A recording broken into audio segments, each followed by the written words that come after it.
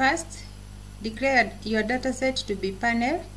Go to statistics, longitudinal, stroke panel data, setup and utilities, then declare dataset to be panel data. Here you select the panel ID variable. In my case, the bank code is the panel ID variable. Then click on time variable and select the time variable, which in my case is quarter. And then my data is quarterly, so I select quarterly and then click OK. Now our dataset is declared to be panel data. Now to run a regression, a fixed effect and a random effect regression analysis, go to statistics, then select longitudinal stroke panel data, then linear models, and then select linear regression. Here, select your dependent variable. My dependent variable is ROA or return on asset. And then in this one, select the independent variables. I am using GDP, inflation, liquidity, liquidity ratio, market share, and credit growth as my independent variables. Then first of all, we are going to run a random effect. So we are going to leave it at random effect. Then click OK. Now these are the results for the random effect model. You see the coefficients. For the GDP, the coefficient is positive, but not significant. For inflation, the coefficient is positive and significant. And you can see the coefficient for all the other variables and also the p-values for all the variables.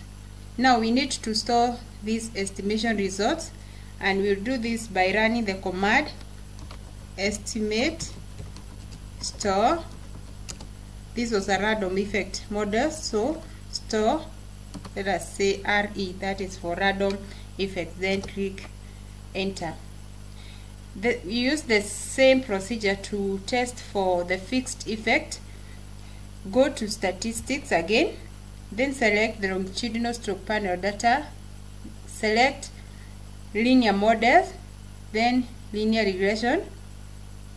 Here we had already selected the dependent variable as ROA and our independent variables. We have them here.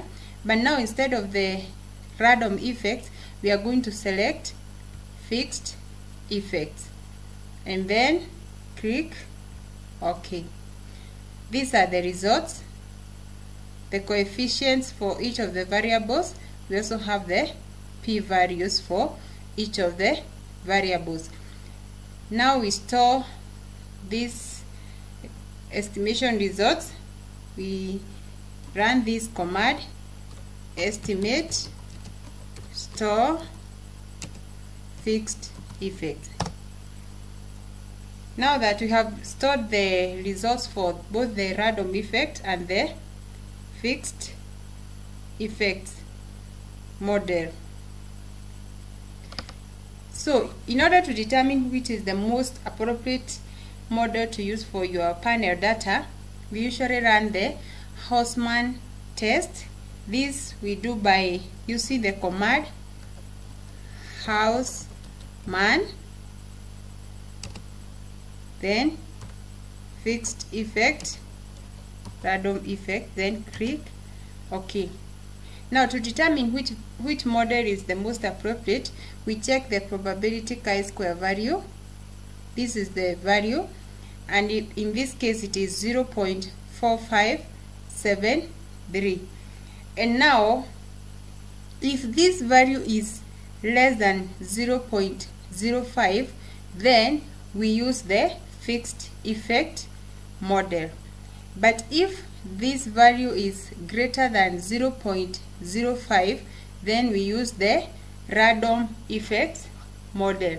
Now 0.45 is greater than 0.05 so in this case we are going to adopt the random effect model and here we had the results for our random effect model. So now we are going to interpret these results just as we usually do for a linear regression model. You report the coefficient value and also the p-value. Check if this coefficient or the coefficient is positive or negative and also check if the p-value gives you a significant effect or an insignificant effect